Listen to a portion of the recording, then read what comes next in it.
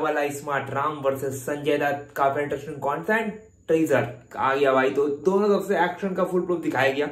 जहाँ पर तेलुगु वर्धन इंडियन को फुल पैन इंडिया मूवी बनाई गई जैसे देखिए इंडियन लोग क्या कर रहे हैं? आजकल तेलुगु स्टार को लेकर या साउथ कंटेंट के स्टार को लेकर एक पावरफुल स्टोरी बना रहे हैं। उस रात से तेलुगु भी सोचा चलो Indian star Sanjay Dutt super mega star in the powerful journey जहाँ पर उन्होंने के में उनके एक रोल को जो इमर्स किया गया ना, उस तरह से पैन इंडिया मूवी वो लोग भी चाहते बनाने के लिए, एक फुल प्रूफ स्टोरी लाइन बनाने के लिए। क्योंकि जानते हैं कि नॉर्थ इंडियन मूवीज़ इंटरटेनमेंट मामले में 86 परसेंट पावर देती है कंपैरेटिवली टू साउथ इंडियन तो एक ऑडियंस को हिट करना है, एक पैन इंडिया सिनेमा को हिट करना है और एक्शन फुल प्रूफ मूवी बनाकर एक तरफ़ सुपर एक्शन हीरो और दूसरी तरफ़ सुपर एंटी विलन जो काफ़ी कॉन्सेप्ट देखिए दोनों पावर हिटर है। अब उनकी सच्चाई, उनकी अच्छाई एक एक्शन हीरो को बताएगी काफ़ी इंटरेस्टिंग फैक्ट और एक ब्यूटीफुल लेजेंडरी स्टोरी लाइन तो कहीं ना कहीं एक तैयारी से बड़ा इमर्स लाइन कुछ नहीं होता सब्सक्राइब कर मेरे ब्लॉग्स को क्योंकि हम आगे नहीं बढ़ते।